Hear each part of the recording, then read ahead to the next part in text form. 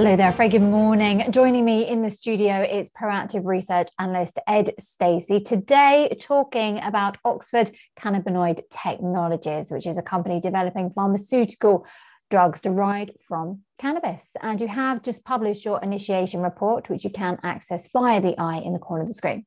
But before you do that, we're going to talk through the main points with Ed. So, Ed, take it away. Tell us all. Well, firstly, I'd want to start out with that description of the company as a pharmaceutical drug developer. And it's an important distinction within the sort of cannabis space. Um, there's a, a, term medical cannabis referring to cannabis which is available, for example, in the USA, uh, increasingly in Australia, also Germany becoming a market, providing cannabis, just plain cannabis, to patients who can't be treated with conventional medicine. So they get cannabis under a special access program or a, a compassionate access program.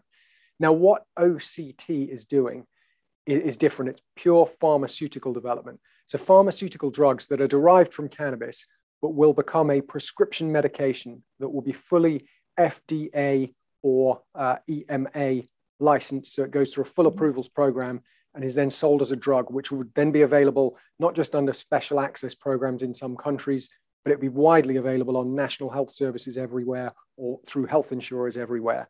And the other thing with being a fully licensed pharmaceutical drug is you have intellectual property protection. So there's market exclusivity, there's the potential to make a big profit on the drug.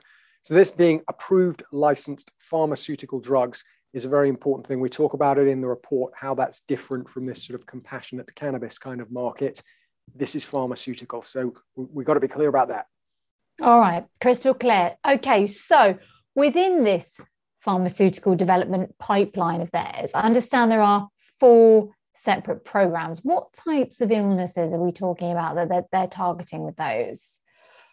So, most of the work is targeting pain management, types of pain, including uh, types of neuralgia, types of neuropathic pain, inflammatory conditions, and also potentially some other applications which are, which are non pain related. So, so, quite a few different types of conditions with a big focus being on pain. The reason for four separate programs is firstly that we're talking about a number of different conditions, uh, but also different sources for the, for the, the types of drug. So they have, um, for example, cannabinoids, which are extracted straight from cannabis, but also derivatives, so new compounds which are made out of cannabinoids. Also, purely synthetic drugs that don't come from the cannabis plant at all, but that are, are cannabis uh, analogs. And they have a huge library of um, synthetics and cannabinoids, uh, a library of drugs uh, or a library of compounds that, that they've acquired. Uh, and they also have an in-licensed compound, uh, a mimetic, um, that, that's an important part of the program. So there's a lot, lots of different sources, huge library of potential resources there. And they have a well-structured pipeline approach, so screening the compounds for what types of different receptors they act upon within the human body, devising the formulations, and then they're working with world leading partners, specialists in various different elements of the development, the clinical trial programs, and all the way through to the commercialization. So, using these partners to really accelerate the whole process. Now, we've got some timelines in our report for the different drugs that they're developing, or the different programs. Um, and that gives you all the detail of, of how these things should map out. First, thing we like to sort of draw attention to is first clinical trials could be in 2022. So that will be a big milestone, getting the first drug going from that preclinical stage into actual clinical trials, potentially during this current year. All right. And finally, in terms of the share price upside. Okay, so you've mentioned that they could produce a drug, or actually more than one. You've talked through sort of the four programs as well for us, um, which could sort of produce a one billion dollar asset potentially.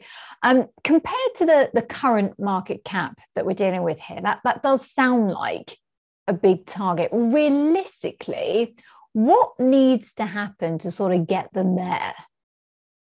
Well, it's been done before in the cannabis pharmaceutical space. And in our report, we look at the example of GW Pharmaceutical, that was a UK listed company, um, a small cap company like Oxford Cannabinoid Technologies. GW Pharmaceutical was acquired last year for $7 billion. So it went from a small cap to being a very big company with two drugs that they had developed. the big sort of inflection point in terms of value is as these things move through clinical trials. You get to a point where the market starts to say, this drug is really happening. This is, this is something that's actually going to be realized. So the clinical trial price is a very important part of things. So big milestones for OCT uh, during 2022 when they start the first clinical trial. And then, yes, the potential end game is they could be producing a billion dollar drug out of one of these programs. Absolutely. Wow. All right. Ed Stacey, thank you very much indeed. Discussing Oxford cannabinoid technologies here on Proactive. And you've written your report. It's available with a click on that eye in the corner of the screen. Ed, thank you.